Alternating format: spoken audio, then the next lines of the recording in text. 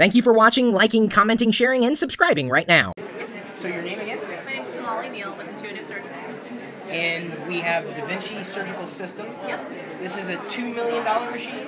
Um, roughly around there. Roughly. Great. So it's worth more than like three times my life. So, uh, what exactly is this tool used for? So it's used for minimally invasive surgeries.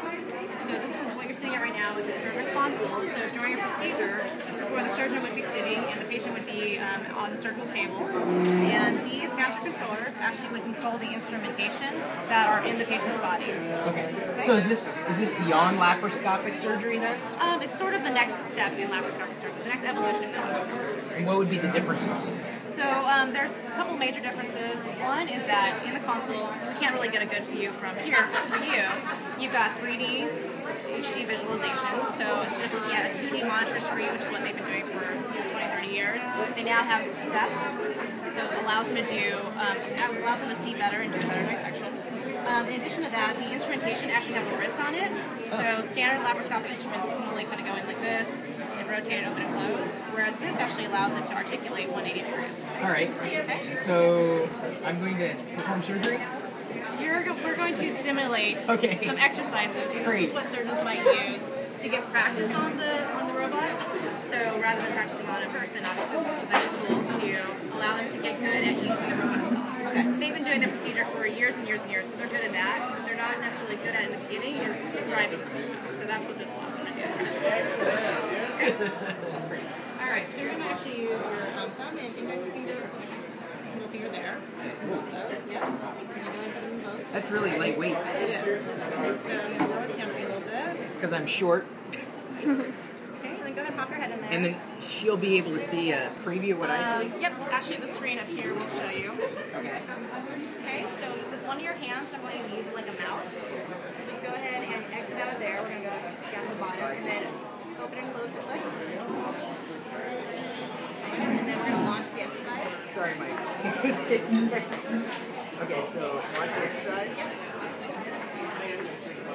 hold your hands just a little, little open and close with one of your hands. There you go. And launch. So now we're just going to reset this exercise. And then the goal of this particular exercise is to Whoa. match up the jacks. So are you seeing 3D? Yeah, I'm seeing 3D. So we're going to put the red jacks into the red band and the yellow, the yellow, and the blue. Okay. So the first thing he wants you to do is match grips to take control of the instruments. So that's a simple open and close with both hands. There you go. Control. Now, is this a live preview? So this is actually just um, software that was developed actually locally here in Seattle. Really? So Mimic is the company that designed this in collaboration with us, and it's just a, a software backpack that sits on the console.